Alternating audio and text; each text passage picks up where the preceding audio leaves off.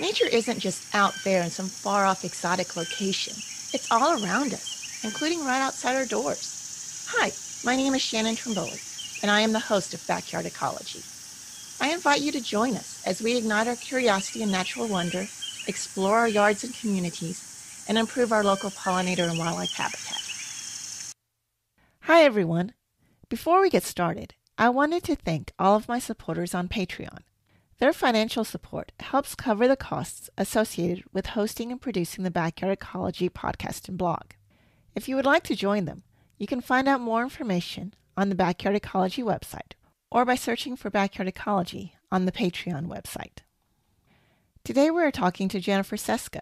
Jennifer is a conservation coordinator with the State Botanical Garden of Georgia at the University of Georgia Athens.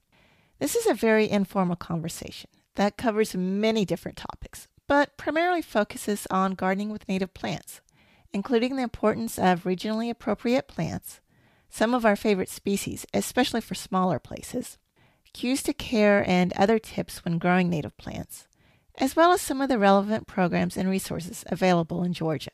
I hope you enjoy our conversation. Hi, Jennifer. Welcome to Backyard Ecology. Thank you for talking with us today. Hi, Shannon. It's my pleasure to be here. Thank you for this invitation. Oh, you're welcome. And I am so excited to talk with you because I know that you and I can just completely geek out and have fun talking about native plants and gardening with native plants. And this is just going to be a really fun conversation for us. I agree. I agree. Let's just dive in, see what happens. Yes. But before we dive in, let's go ahead and let people know a little bit about what you do and then how did you get involved and interested in native plants? Okay. What do I do? So, as a service conservation coordinator, State Botanical Garden of Georgia, and my task is to support all activities in plant conservation from education to research, restoration, horticulture conservation, um, conservation networking. So I have the most broad job description and the most fabulous job description. I've been at the Botanical Garden since 1995. I can't even do that math anymore. And so I have had my dream job for a long time. And I work with, uh, there's seven people in our science and conservation team at the Botanical Garden. And our focus is um, endangered species recovery, native plant gardening, plant materials development, invasive species removal. We tend to have a focus on grasslands, particularly Piedmont prairies and woodlands at our state botanical garden. And I spend a great deal of my time coordinating the Georgia Plant Conservation Alliance, which is mostly cheering on amazing people doing beautiful work on behalf of imperiled plants of Georgia. Now, how did I get into native plants or into plants? How far back are we going? see. That's up to you. Okay. Okay. So yes, I've been in Georgia a long time, but I'm a Texas girl, seventh generation Texan.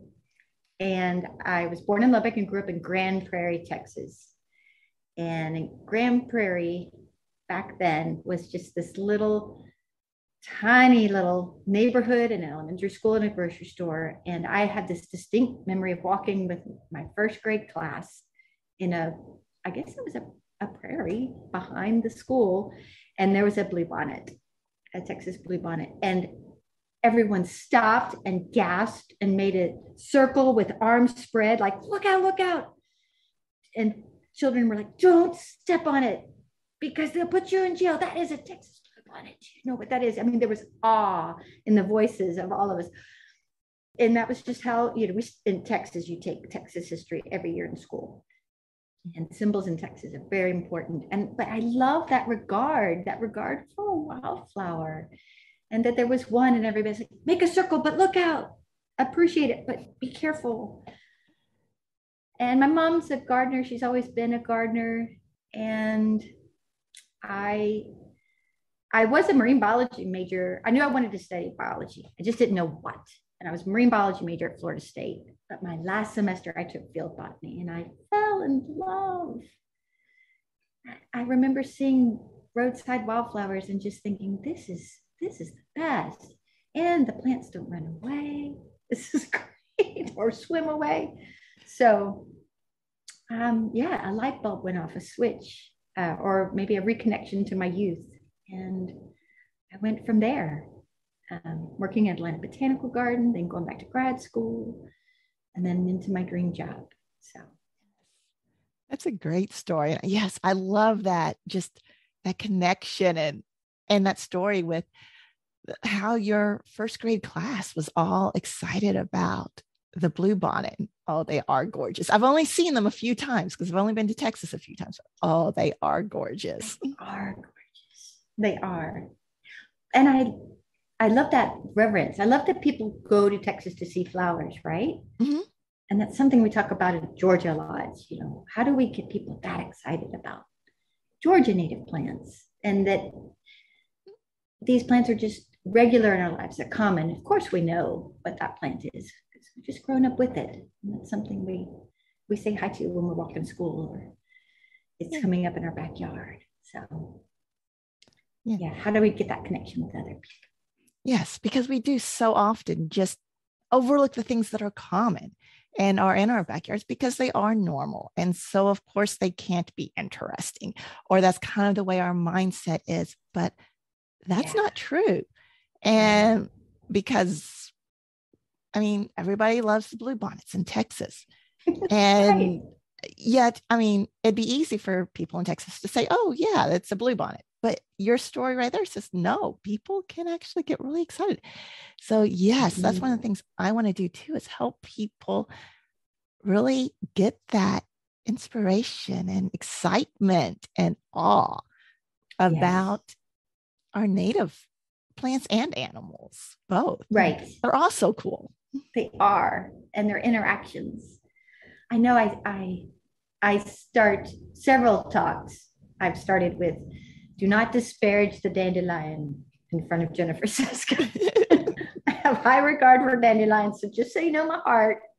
And so we started off on a good feet, you know, good foot, a good beat.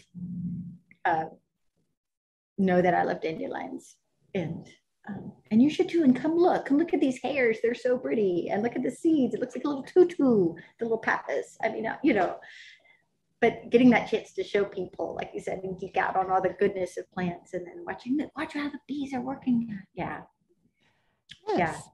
But I do that. I do that with with people at the botanical garden. Like, come see, come see. My, you know, our colleagues do that, or people walking by on the sidewalk and they say hi. I'm like, have you seen this? Accosting people with botany. That's not normal. Everybody doesn't do that. Uh, we do. it. I know you do it. it's just our joy, isn't it? It comes bubbling out. Yes. Hmm. And I mean, I'll do it with the flower. I will do it with a lichen. I'll do it with the millipede. I mean, I, am just a total nature geek. And even if I don't know what it is, I can still go, ooh, and get all yeah. excited about it and start trying to figure out what it is and anything I can figure out about it and learn. Exactly. Exactly. And I think about it's funny, uh, I think about when I was a kid, and you know, kids ask lots of questions, but I, I kind of had a reputation in my family for asking lots of questions. So I guess as a scientist, it's always been in there, just that curiosity. And I wonder, and do you think, and do you think it could be, and my husband and I were both working from home during COVID. Apparently, I'm still doing that and asking lots of questions and hypothesizing about well, look at the spider. Do you think this? And do you, oh, what, what is that doing? And he's like, okay, so that's question 24. but I'm just, you don't have to answer. I'm just, you know, wondering. But I can imagine that's diff- might be different for, from some people. But I get it, Shannon. I, I like to explore and learn about all things, all things nature for sure. And see, I'm lucky because my husband's also a wildlife biologist. Oh, so cool. he does the same thing. And we don't only we don't just ask questions about the spiders, we name them. So the little jumping spider that's in the kitchen, that's Sal for Sal. Oh, okay, I was gonna say and, like species name or Fred. Yeah, okay. exactly. Well, we yes, we do that. It's usually Mr. Spider or Mrs. Spider. yes. Sal in your kitchen. I know I love well, them all so much. Yeah. Well, if it's just like a regular spider, then it might be Fred or Mr. Oh. Spider or something like that. But if we know it's a jumping spider, Sal is usually the name that it gets named. Sal the jumping spider. Yeah, exactly. Because, yeah, jumping spiders are in the family Salticidae. So, what else would you call it? See, I did not know this. Is this a reference to a cousin? Oh, that's marvelous. Mm-hmm. Perfect. He might be a little weird to some people.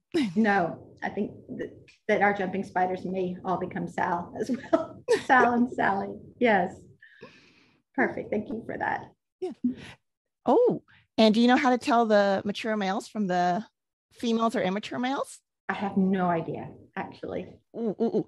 So this works for all the spiders that I know of. Okay. The true spiders, not the harvest men, which are the daddy long legs and stuff, but your okay. true spiders.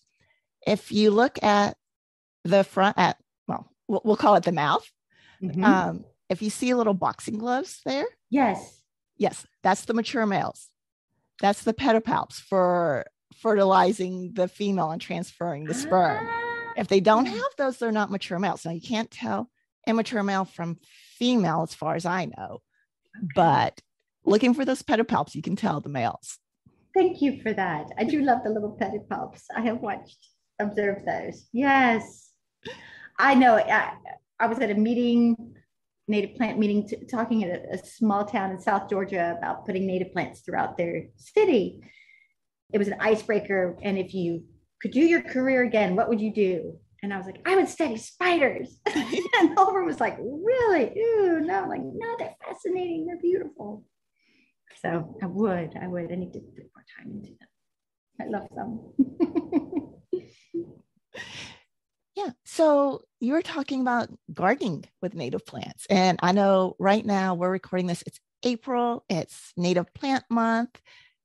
Everything is blooming or starting to bloom as far as the spring ephemerals, at least down here in Kentucky, you're up in Georgia. So you're right. a little bit further ahead, I think, especially looking out your window, you're a little bit greener than us, mm-hmm. but not by much, maybe a couple of weeks. And so yeah.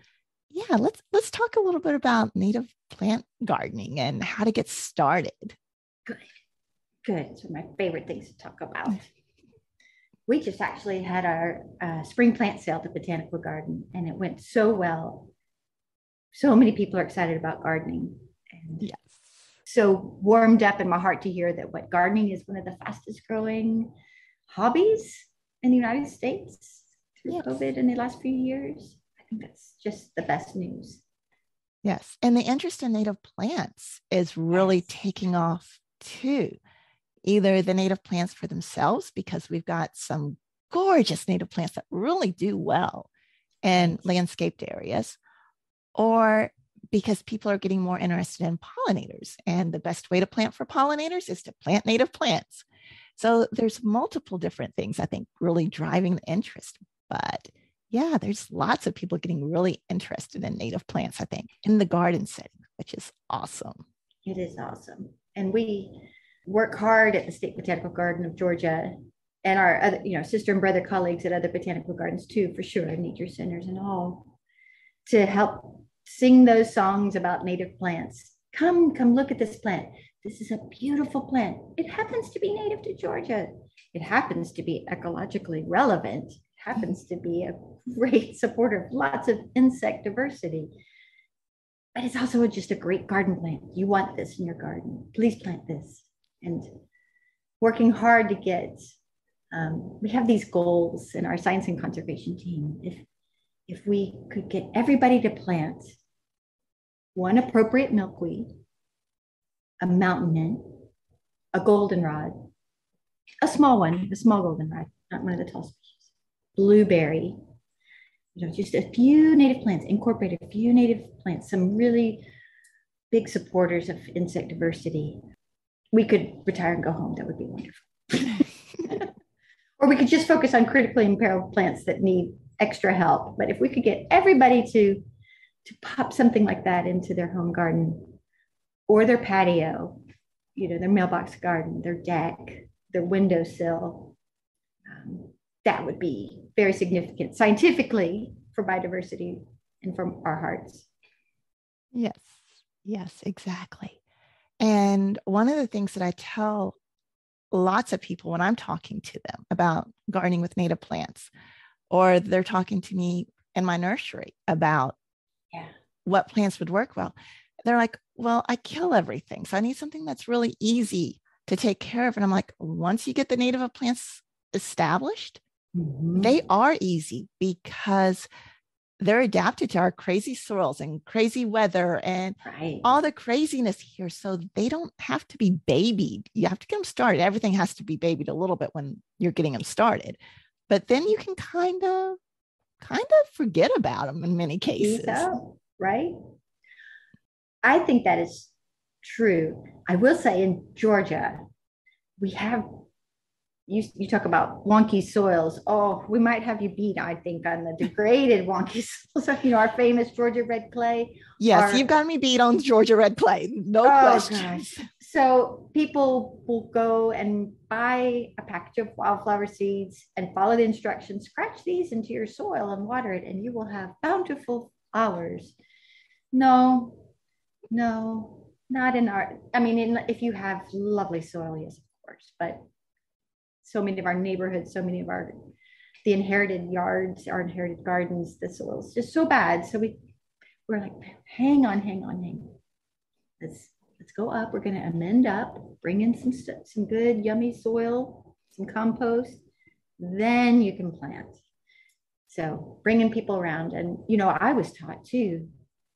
You get you get your garden, you, you till it, and you amend it and do things. And now we're t- telling people maybe poke holes in it, don't till it and um, and amend up and then plant your plants and give them time and then they will they will spread for you but they they need that boost especially in georgia. And teaching people you know we're an ag state but we sure work that soil hard and i think unnecessarily hard perhaps for home gardens for perennial beds. We can we can relax a lot in our gardening and not till and not fuss and not do and not clean and tidy and mulch everything and cut everything, keep it all precise. Yeah. Yes, I agree. And you said something a few minutes ago. I want to go back to. Okay. And that was when you mentioned an appropriate milkweed. Oh, you did pick up on that. Oh, yes, because I know you and I in another conversation once before that we were having, mm-hmm. um, not mm-hmm. for the podcast or anything, you said something that really surprised me that I didn't know. And I'm guessing lots of other people don't know about milkweeds in Georgia. Right. And you know, to own up, to be honest, full disclosure, I didn't know either. So if you look on the internet and you look at most maps, I don't think many, all these maps have been corrected. Common milkweed, Asclepias syriaca, is not native to Georgia. And while it's a wonderful milkweed for monarch butterflies, in Georgia, it's a colonizer species. It's an aggressive species. Would I call it invasive? That's a legal term. No, because we're trying to put a stop on it. But colleagues, botanists like Linda Chafin, Tom Patrick, went through older herbarium specimens and looked at the early records of common milkweed in Georgia, and they were all, they realized garden escapes. And Tom Patrick has since passed, he's state botanist, Georgia Department of Natural Resources. He used to say that one of the things that kept him up at night was thinking that common milkweed was going to spread, spread in Georgia and take over plant communities you know, a botanist carries many worries, but he really carries that common milkweed worry. So, common milkweed, while it's great for monarch butterflies, it's not great for Georgia plant communities. And there are so many other wonderful species to plant. We have um, on our website recommendations that we and our partners came up with for the best Georgia milkweeds and then the ones to stay away from. But again, in full disclosure, we used to propagate and sell that common milkweed at the botanical garden. I had it in my home, my own home garden. I shared seeds of it with friends, and I've had to undo that and replace my own self. And with the most wonderful things through this process, you know, we did have a workshop talking about best milkweeds for Georgia and talking about these herbarium specimens and how we were, now that we've learning this about common milkweed in Georgia, um, Monarchs Across Georgia is an amazing outreach organization. They do wonderful education programs. They sponsor a lot of wonderful science. And their main mission is supporting monarchs. But if you look up our literature that we've produced with partners, they are standing shoulder to shoulder with us because they realize they understand that for Georgia, we need about, you know, mosaic of habitats, lots of different species, and common milkweed is just not a good friend for us here in Georgia. And there are no, the pressures that may keep it in check in other states aren't here. And it will just go, go, go. And it would spread, you know, seeds would fly away and spread and spread. So that was a bold step from Monarchs Across Georgia to stand in solidarity with the plant community botanists on that. But I was real proud for that, those conversations. And, you know, they wanted to talk about the evidence and the, you know, let's get out some literature. Let's look at these, you know, let's really walk around. It was, it was a, a hearty conversation or four. but we got there together and we were real proud for that. So yes, I do. I tend to say the appropriate milkweed for Georgia. Yes, which is I think really important to bring up because yeah, you look at the maps online and everything like that, and in all the books too. Which I mean, it's understandable in the books because the books are older; it's harder to update them. Right. But even on the internet, you see common milkweed as being listed and shown as being native pretty much throughout the entire eastern US. And yeah, I had no clue about Georgia until you said that. And that's yeah, I didn't either. And you know, and organizations that are working on behalf of monarchs and they're giving away milkweed seed, they're doing that is some beautiful heart-centered work, mm-hmm. important mm-hmm. work. And and we've been reaching out and my partners too over the years and just saying, hey, we science is caught up. We're sharing some things that we've learned on here, but here's other other seeds. Here's other species that we can promote. So yeah. um, we're getting caught up with ourselves. and I love that too because you're working with your partners and everybody's coming together with it. And yeah, science is always learning new things. I mean, we learn new things in life every day. Why shouldn't science be the same way and constantly learning? And sometimes we have to go, okay, what we thought we knew, we need to revise it a little bit. We've learned better, learned more. Yeah. And I I'm very comfortable with that. Mm-hmm. Right. I mean, I, I'll lift my eyebrow and I'll be like, well, tell me more and tell me why, right? The why is so important. And tell me, tell me the background and how did you study that? Because that's what right scientists do. We banter and we question. And then we're mm-hmm. like, oh, okay, I understand. Thank you. Yeah. Yeah, that is different. Yes. We should pause. Yeah and and then you know realizing I was like how many common milkweed did we sell over the years it's almost like please bring your plants back we will replace no but yeah how do we undo that we're working hard to undo it. Yes and I, am the same way because i remember a couple of years ago um somebody i don't know who it was anymore i don't remember emailed me or facebook messaged me and asked me about this thing with Georgia and common milkweed not being oh, funny. not being native. I was like, I've never heard that. Every map shows it. And then we were talking not too long ago, and I was like, I'm thinking back to myself, oops, because that that conversation, email, whatever, just kind of flashed in my head. I was like, oh, um, yeah.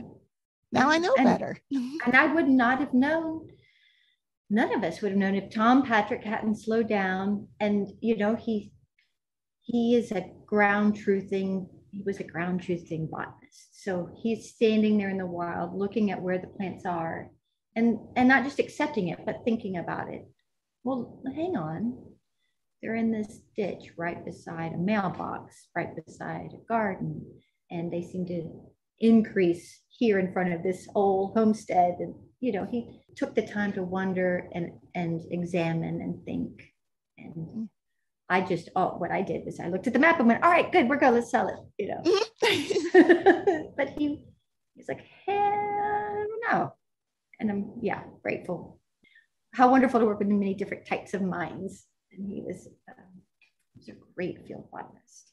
Yes, exactly. Because yeah, I, I'm I'm did the same thing. I looked at the map and said, okay, we're good. Mm-hmm. And I can see how it could be highly aggressive and cause issues in a state where it isn't native to or in environments where it's not native to, because even where it is native and grows everywhere, it is very aggressive. I mean, here in Kentucky, I tell people all the time if you're looking for one that you can plant in your suburban yard and have it play nice with everything mm-hmm. else in your garden beds, that's not common milkweed. It, it's not going to work. Here, do rose milkweed or swamp milkweed, whichever way you want to call it. Right. Uh, that one's your tall pink milkweed that plays nice with everything and isn't going to pop up all over your yard, all over your neighbor's yard, right? And do all that stuff. I mean, you you still have to know that your plants and right. what their personalities are. Shannon, that is such a good point.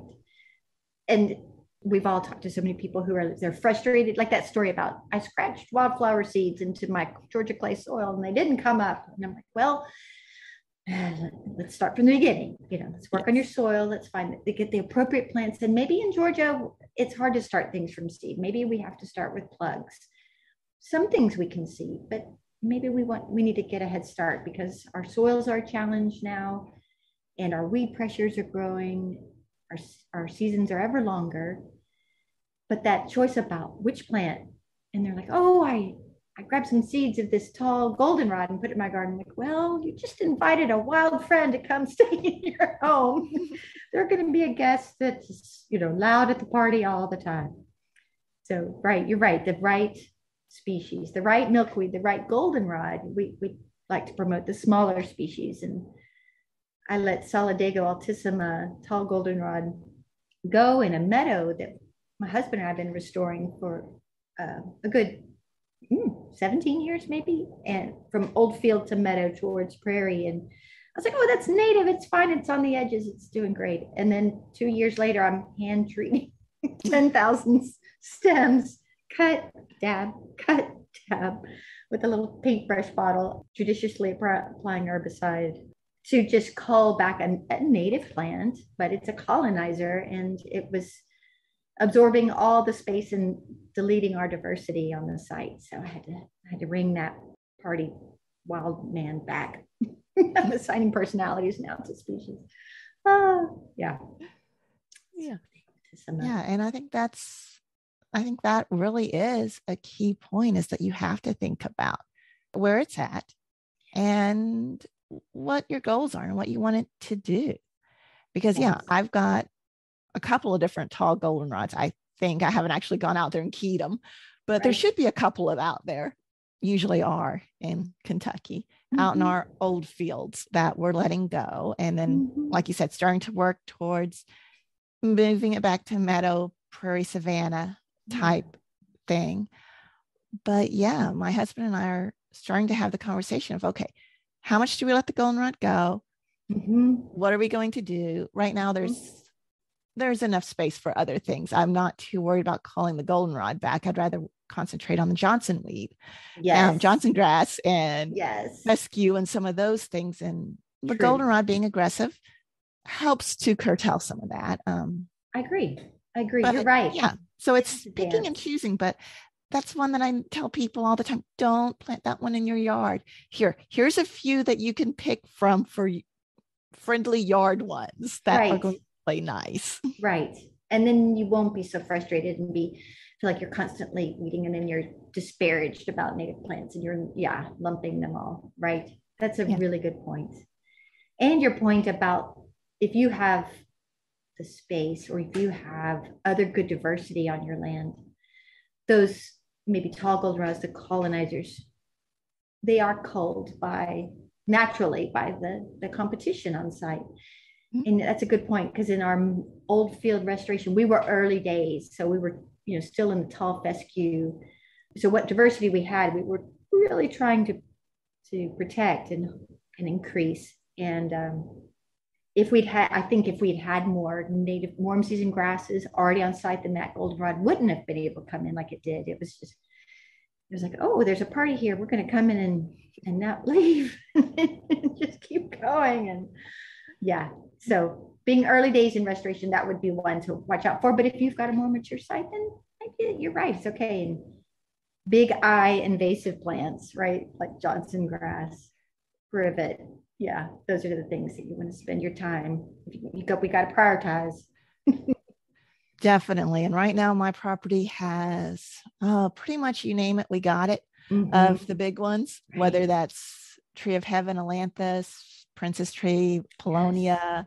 Yes. Uh, we've got beefsteak plant. Yes. Are you familiar with that? Um, Perilla? Yes, it's a big problem in Athens, actually. Yes. It is. Yeah, it's a big problem here too. I mean, Microstegium, the stilt grass. Absolutely yeah, we've got them all. And so, and of course, Johnson grass and everything like that in the fields. And I'm like, yeah, I'm not going to worry about the goldenrod right now. No, I like the goldenrod. Right. The pollinators like the goldenrod. Exactly. Good point. I'm going to get rid of the other things because, like you said, you have to prioritize. And then when I have those wilder areas, that especially um, even in a flower bed if it's kind of a wilder flower bed. Sure yeah. I have no problem putting my aggressives against each other and then letting them fight it out and see who wins. Right right it becomes an experiment plus it's fun. Well that that's another good point you make shannon that because you're bringing species back to the land in your garden or in your meadow grassland area that's wonderful. You're increasing the biodiversity you're increasing the competition. And in our old field site we were starting out we were we were working to get the invasives out and you know like the tall fescue and all the other things that were probably in the Japanese honeysuckle. Still crying about that Japanese honeysuckle. Oh yes. I know. Oh, but now that we're getting ahead and we've got some more competition, I think not that goldenrod may. I'm I'm less scared of it now that I was because our site's catching up. We've been interplanting and doing a little overseeding and just and through conservation mowing micro burns we are encouraging the natives of the warm season grasses so they once they've they're holding the site then you're right everything can relax. The natives on their land they've got it. We can relax in our gardening we can relax in our management. We're in a management phase instead of a constant restoration phase. And, and that's a good point too is to bring out is that every site's going to be slightly different. Yes. And it's going to be the site and what's already there and what needs to be done and what's most critical at that instant in time right. because you can't do everything at once. Nobody can. Right. And looking at what your goals are and what you're able to do yes. as well. And I mean, even two places right next to each other, two neighbors are going to go at it slightly differently because mm-hmm they're different people and have different goals and resources and skills and time and everything's going to be slightly different. Yeah no that's a really good point. And and that is absolutely wonderful. But that it's like that tom patrick lesson to slow down and look at your site and then look at yourself and think about how much how much time do you have and then what is really pressing and if you have big eye invasive plants those are those are going to need your attention. And so how are you how are can you start to get at them little by little? And and then how can you replace them? And it's doable. It's but you're right. It's take take a minute to think. Let's think about this for a second. And there's lots of wonderful resources and native plant nurseries and botanical gardens and nature centers to go to now. I mean native plants have arrived state by state. We have young people coming to our plant sales asking for natives for their dorm room window or their balcony or the, you know i'm in love with young people coming to our plant sales and they're knowledgeable about the decline of pollinators. And they want to plant you know i don't i have house plants and i want to put something on my balcony to help bees. All right let's do this. Mm-hmm. here's a mountain mint this will this will do great. Yes Mm-hmm. So, what are some of the ones that you would recommend for those small areas, the balconies and stuff? Because that's something that everybody is looking for. And I get that question a lot as well. And I know Georgia, Kentucky, yeah, probably going to be some differences, but I'm guessing there's probably going to be some overlap too, if not in the species, then at least in the genera. That's right. You know, and I've been hearing that and among colleagues too talking state to state, if we get the genera going in our gardens and in our restoration sites, we're doing great. Yes, we would like to always support the species, especially in restoration sites, but in home gardens, if we can get at the genera, it's a good point. Um, plants that we love. Carolina lupin. We're in spring, so my brain goes to Carolina lupin. That's Thermopsis villosa. Phlox paniculata, any of the phloxes. It's like, right? It's almost like yes. any of the phloxes, any of the pycnanthemums, the mountain mints. I think on our mm-hmm. website, uh, we have five listed that we recommend. It's under the Georgia Pollinator Plants of the Year program, and colleagues got together in the green industry. These are green industry colleagues and scientists and ecologists, and talked about some really wonderful native plants or wonderful pollinator supporting plants. They didn't have to be native, but they kind of all turned out to be. So Carolina lupin, mountain mints, the pycnanthemum, monardas, gosh, any phlox. Echinaceas are, of course, wonderful. Rudbeckias, coreopsis, all these genera that just make us gush. And then weave in some native grasses, especially warm season grasses and the little ones like little blue stem or split beard. Oh my gosh. Oh my gosh. Darrel Morrison is a landscape architect, described planting split beard on the western side of your garden or your patio in a pot so that the setting sun shines through those florets. And I did that and doggone it if he wasn't right. It's just so beautiful. Those fuzzy, fuzzy little florets. Um, yeah, that's one of the grasses I'm not familiar with, but I'm not familiar with a lot of the grasses. So, well, you know, and I wasn't either. And I stomped my feet and pouted so badly, being stubborn about learning grasses. And a wonderful woman in Georgia, Elaine Nash, she's a soil conservation scientist and she self-taught her the botany of Georgia and and the grasses, and not just the grasses, but um, their plant communities, how to collect their seed, how to grow them from seed, and how to get them back on the land. I mean, she's amazing, and she's been our mentor for many, many years, Elaine Nash. And I remember how many times I'm like, one more time, Elaine. The difference between a cool season grass and a warm season grass is like, okay, deep breath.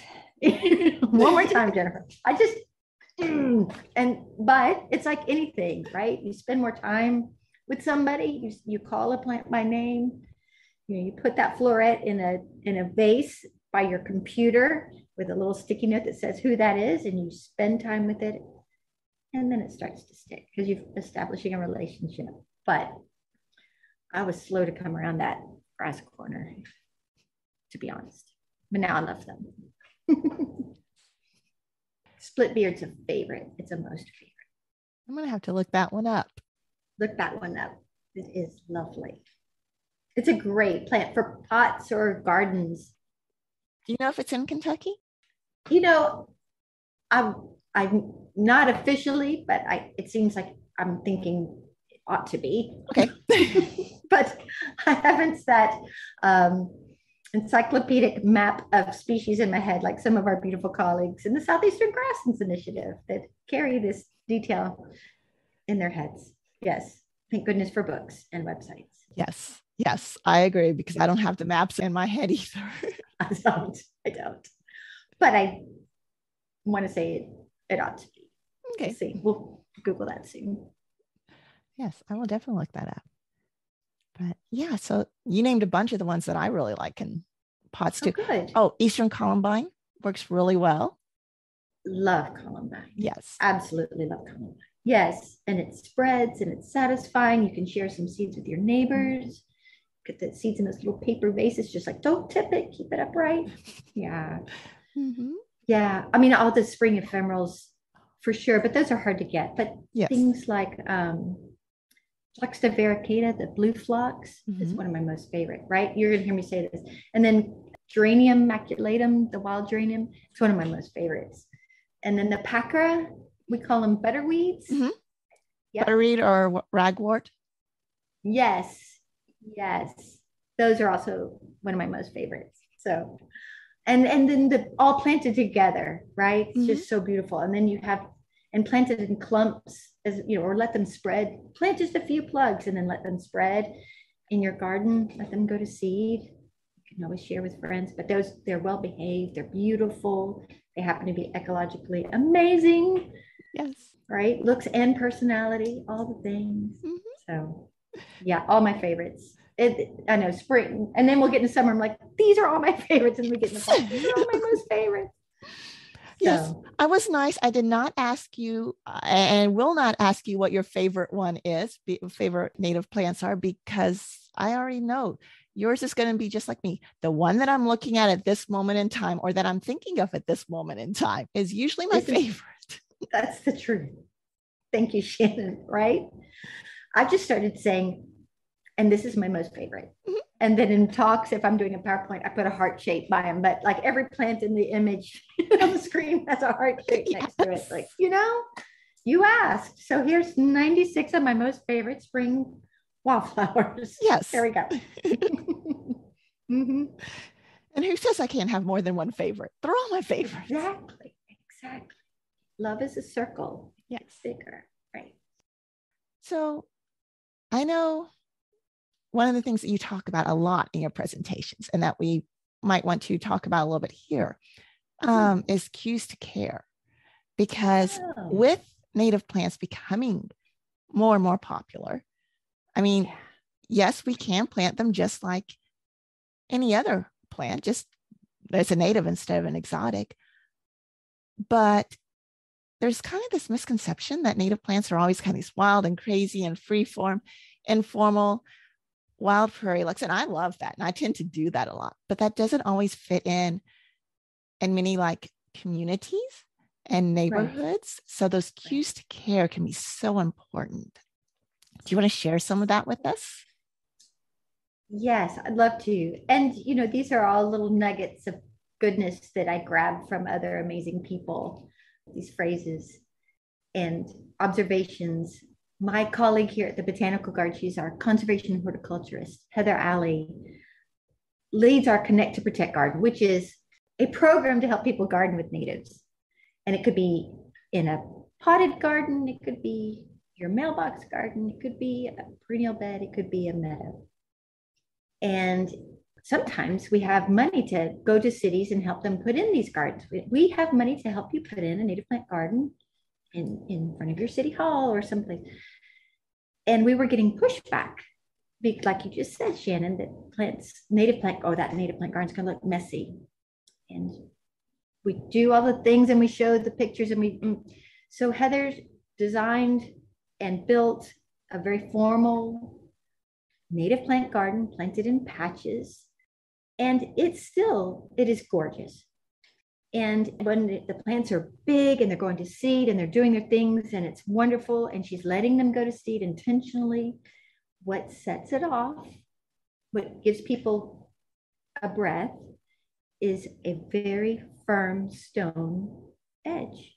It's got a raised, hard edge, a very clean, precise edge that's curving, maybe 20 inches tall, stone pavers stacked up, so that the garden in its seasons, as different species come in and out, um, they can get a little excited as they go to seed and they're fluffy with their seed heads and their pappus and such, or they're brown, but it's but it's got that cue of care on the side that helps you know this is intentional.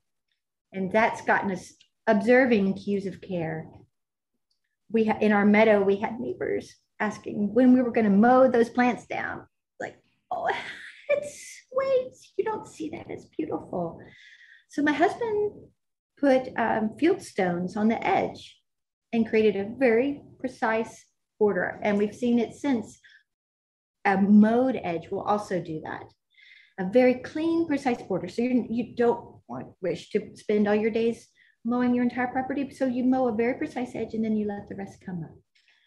Maybe in a neighborhood, in a, a neighborhood that has certain rules, you have a gravel path that stays very precise and clean, and you have an, an edge to that bed that is very precise.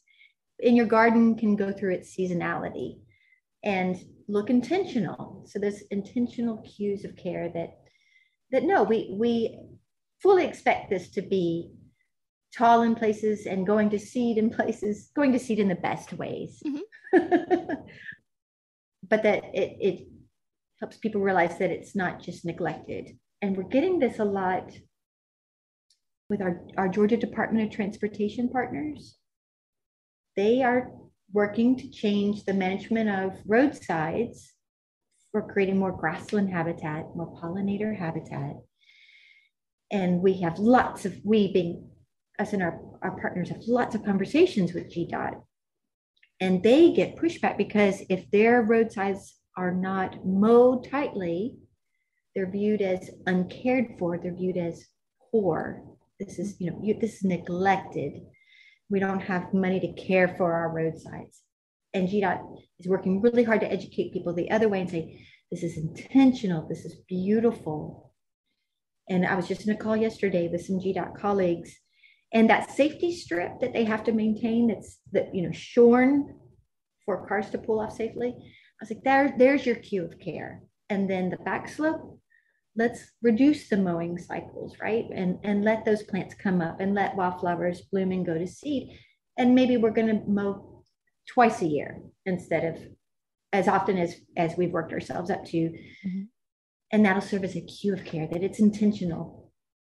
But they get phone calls. They get phone calls. So we're, you know, it's push pull marketing. It's like we can tell people, I can convince them if I can get a 20 minute conversation with them, but it's hard to get 20 minute conversations with Georgians all over the place. So we need quick ways to teach people that this is intentional. These are cues of care. This is this is beautiful. Come see, come see why this is beautiful. Yes. And I think that's something that, especially as more and more municipalities and states try to go to those beautiful roadsides that have right. those beautiful wildflowers and create that habitat there.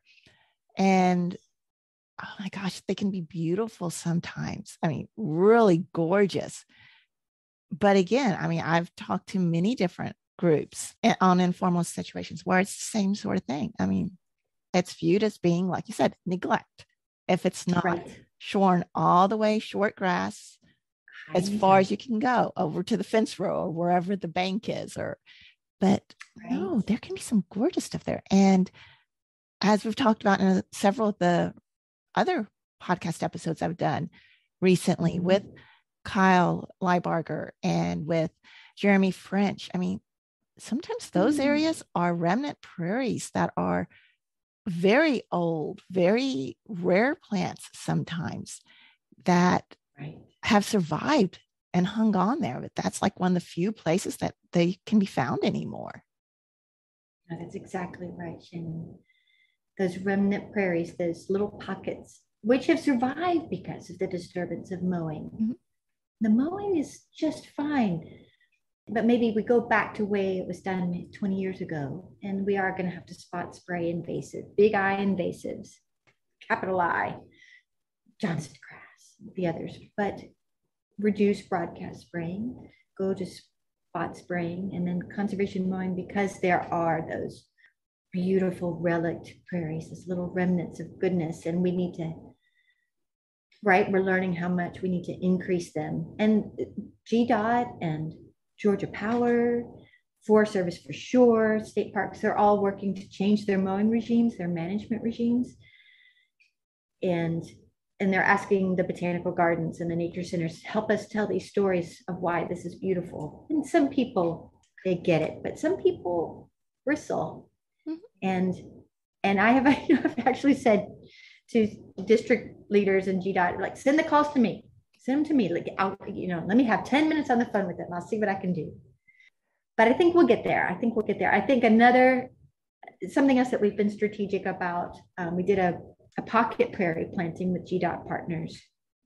So we usually we plant plugs, small, like if you bought a six pack of pansies, that size, a six pack, we plant plugs because they establish real well. But we did choose some more bigger size, some one gallon showy plants, some um, and we planted them to the front so they could, ha- and we planted them in patches so that you could see the characters of the play. You could see the clump of color and and and see a species. And then in the distance, it may be spread with all its friends. But in the front, being very intentional, bigger specimens, bigger patches of color. and then let the back go. Let it spread as it as it wishes. And and it'll thread and do its thing. And it'll it and it'll also be beautiful, but making it look very purposeful, repeating the clumps of color, you know, purple, red, yellow, purple, red, yellow, and just keep it going. Yeah. So the people start to see. Well, I know you guys in Georgia have some amazing projects going on too. And I want to make sure we talk about some of those. Oh, nice. And let our listeners in Georgia know about because yeah, you got some cool stuff going on down there. Yeah, we we have several initiatives and we are all about native plants. So you know our hearts. And if you come, please come to the State Botanical Garden. It is free. Our parking is free. Just come on in. We're open sunrise to sunset. And you're traveling to the southeast. And we have garden displays of all kinds, all kinds of collections, like most botanical gardens do.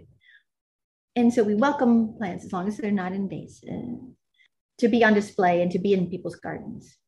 But we really we, we plead, we cheer, we try to convince people to incorporate natives into every space they can. And you'll see that walking our gardens. It'll be a certain garden selection, a curated collection, but then it'll weave into some more natives. I mean, our curators are amazing transitioning those stories. Um, we have Connect to Protect, which we borrowed that phrase from Fairchild Tropical Garden, and it's about Doug Tallamy's ideas. Um, if, if we all plant a few native plants in all our little spaces, whatever our space is, we will support wildlife, Georgia wildlife, Southeast wildlife, um, biodiversity. And amazing how wildlife will find it. The bees will find your plants on your windowsill. The monarchs found the native plants on the Georgia on the what the New York High Line in the middle of Manhattan. Oh my gosh, so Connect to Protect, we have the Georgia Pollinator Plants of the Year, where we're working to increase native plants in the trade for display, for restoration. And we, um, my colleague Heather Alley often gives growers seeds and shares her techniques for how to increase them to just get these plants moving in the trade so they can be more easily available for, for Georgia gardeners.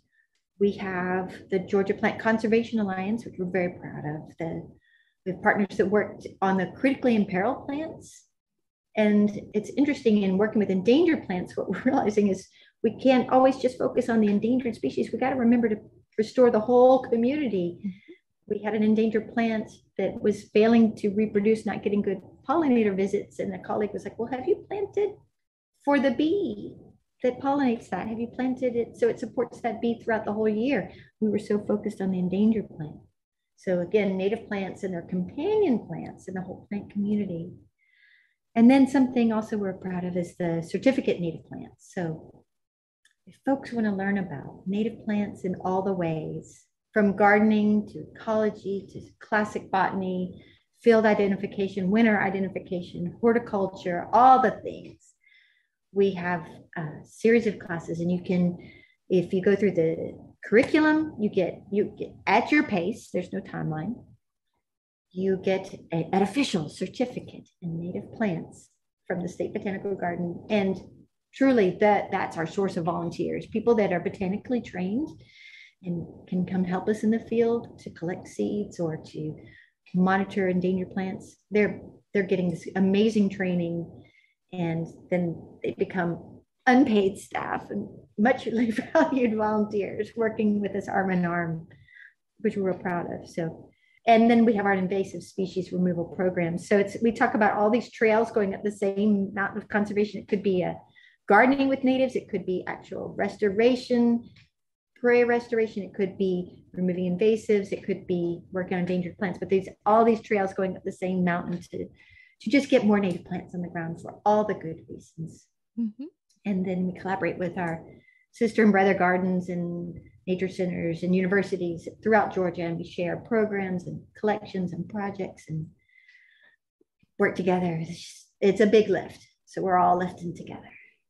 But it takes that because nobody can do it by themselves. And I mean, you've got all these, like you said, other colleges and nature centers and botanical gardens and other conservation organizations and agencies But then you've also Yes. got the private individuals and the volunteers who are out there and do because it's needed. And especially in a state like Georgia or Kentucky or pretty much anywhere in the East, most of our land is privately owned.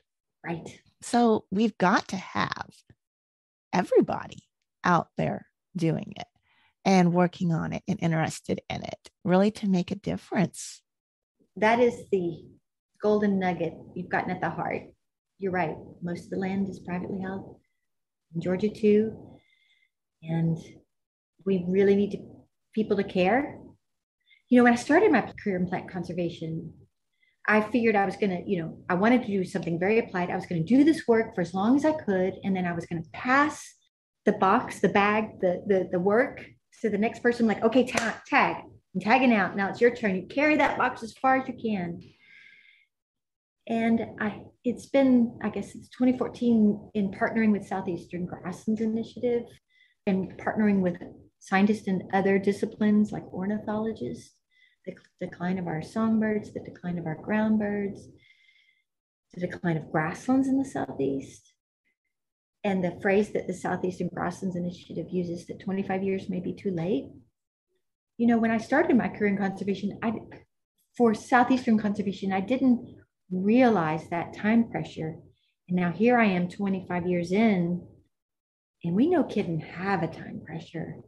And so now when I talk to audiences, I'm really pouring the heart out and I'm saying, listen, y'all, I'm I'm asking legitimately. I really need you to plant a few natives in your home garden or your balcony or your mailbox or your windowsill because we're running out of time. We're going to start losing some bees and butterflies and birds. We may already be losing birds, and and it is centered around grassland habitat, woodland habitat, open habitat, open space, and getting people to see open space because people have forgotten.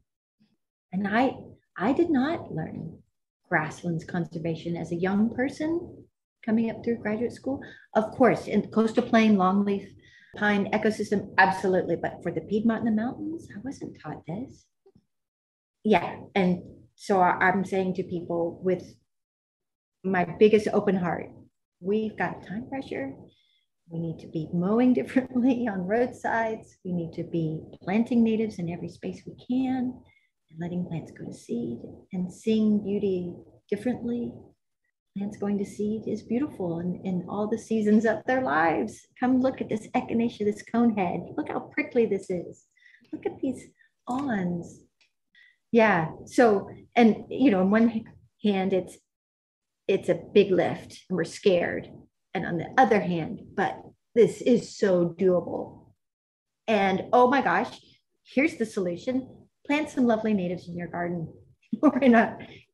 it's doable and it's joyful. So let's go. Here we go. We're going to do this together. Right. So, And as Yeah. long as we're all doing it together, it only takes a little bit for every one of us with it. And yeah, I love leaving the seed heads because one, they're gorgeous just by themselves. right? But then two, I love the birds and the birds will come in and they'll eat on them all winter long. And Right. even right now, I've got a patch of goldenrods and it's the tall field Mhm. goldenrods I let go Mhm. to seed and to flower right outside my office window. And everybody would come Mhm. by and they're like, What's that big patch? Because it's in the middle of the yard, but I saw it was all goldenrod. So I was like, Okay, we're just going to leave this because I went to watch the go Mhm. watch everything outside my office window, all the pollinators and stuff. And then the birds have come in from all winter long Nice. and we're eating the seeds. And now I've got warblers checking it out for new Oh, insects that are getting on it. And I mean, I've seen some of the first warblers of the season on this little patch of goldenrod right outside my window, literally already this year. And it's been fun. Now it's getting to the point where it's like, okay, we're going to have to cut it down Mhm, before too mhm. much longer, but I keep kind of hesitating. It keeps raining. That's my excuse. Yeah. Oh, that's a good story. That's a good point. So, a, a little tip you may know this, Shannon, but I was recently taught about the wattle, which is putting pairs of sticks in the ground and and laying cut stems so it makes sort of like a, a little fence Mhm. a little homemade grassy stem fence. And so I've I've had several friends. Lauren Muller was a colleague who taught me about the wattle. To, if you must, must, must cut down your stems, and eventually we do, mm-hmm. or we you know, or they start to snap. Then just lay them in this little vertical fence, this little paired sticks spaced a foot apart, maybe six pairs, and then horizontally you're laying the stems in between, and then and let that go. And then you can do it so it looks intentional. It's a cue of care. I usually I used to just do a pile, but now this looks very intentional. A little straw fence on the edge around my pawpaws in my garden and by my blueberries. And then the bees can harvest out and you know the baby bees that are in those stems and and like you said, the birds will pick around on the bugs on those stems. Um, I did build my first wattle this winter, and it's a humble wattle. it's it's a little more intentional than a pile. Some people really do beautiful things. You can Google images, and I guess it's something that maybe came out of other countries throughout the planet. But I'm catching up on this. Yes. Yeah, I always forget about wattles. I've seen them, like you said, on the internet, Facebook and stuff like that, mm-hmm. pictures of them. But yeah, I tend to do okay, pile mm-hmm. those stems here or set them up here. Um, oh, yeah. If if I have space, and it's, I mean, I live idea. in the country, so I don't have to worry about HOA rules or anything like that. Right. So if I have a place where I can kind of stand them up after I've cut off the stems, mm. I will, because at least then they're still in the same orientation and all that good stuff. Otherwise, I do like yeah. a little pile off in the corner and okay, move on. That's a good idea. The little vertical stands. But yeah, the wattles are really good, especially for areas that you need more of those cues to care. Right. Cues of care. I live in, uh, husband and I live in a downtown area we don't have the HOA, but we have a small garden. And so, eh, right? So space is precious, but you need stick piles and we have our cut piles and then we have our compost and, and it's all part of the process. But the wattle, it's pretty cute, I have to say. I think a, an American toad could jump over it, but it's pretty cute. yeah is there anything else you want to share with us? Because this has been fun and i mean we could talk forever but i, I know. I really do love our conversation shin. Um, anything else i want to say? Well i want to say thank you and i want to say thank you for your podcast. I want to say thank you for your your blog and your outreach on behalf of native plants and wildlife because you really are so good at helping people see and pause and look and be curious so thank you for your work and your voice and your heart. We we are celebrating you in, in Georgia and you have many fans down here. So thank you. And thank you for this chance to have a conversation officially with you. I'm grateful to be part of backyard ecology. So thank you. You're welcome. And thank you so much for the kind words. And yeah, thank you for everything that you're doing too, because I mean, you're doing the same thing, helping to get out the word and spreading the word about native plants and get people interested and just everything that goes with it. I mean, we probably established this when we started out this whole conversation talking about um, spiders, when which we right? completely went off on. But yeah, it, it's you can't look at one little thing for very long if you've got this curious scientist naturalist mind without then seeing something else on it. And all of a sudden, that's a new interest in everything's connected. You just got to keep going through and looking at all the cool stuff. And this leads to that, and that leads to this. And all of a sudden, well, we spent an hour plus talking about all kinds of fun things. Yes, yes. And it's fun to find another kindred soul, kindred heart. So thank you. Yes, thank you too. But yes, so if anybody, especially our listeners in Georgia, okay, want mm-hmm. to know more about native plants and starting to grow native plants or some of these rare plants and think that maybe they've got something different on their property because that's where we're finding a lot of the rare and mm-hmm. unusual plants now are on people's private property. So maybe they have something different that mm-hmm. they're curious about can they get in touch with you and find out more about all this stuff? Yes. So people can contact me by email. And uh, my email is my name, J Ceska. so J C E S K A at uga.edu. Our all the staff is on our State Botanical Garden website, botgarden.uga.edu. If you scroll down to the bottom of the homepage, you can there's a, a link for staff and our email addresses are there. If you go to the conservation tab, you can read about our programs and our outreach, and we have that brochure on milkweeds, and we have brochure, uh, information about recommended native plant nurseries in Georgia and the Southeast and recommended native plants for gardens and how to propagate them and all kinds of goodness. And you just cued my mind, Shannon. There's an iNaturalist project. Oh, yes. And it's called the Georgia Grasslands Initiative, iNaturalist Project. So if people are curious about what they have and they snap a photo on the iNaturalist app and they link it to the Georgia Grasslands Initiative project page, we can help them identify that plant. And people are finding some remarkable species in their gardens and in their back property and on roadsides. So please, please, yes, that would be wonderful if people wanted to check that out and get involved and we can get excited about native plants together. Yes. And I will definitely have your contact information in the show notes. I will have a link to Oh, nice. the Botanical Gardens page. Um, Okay. I may even go ahead and pull out that one on the Yes. appropriate milkweeds and go ahead and put that as a separate link because I think that's really important to highlight.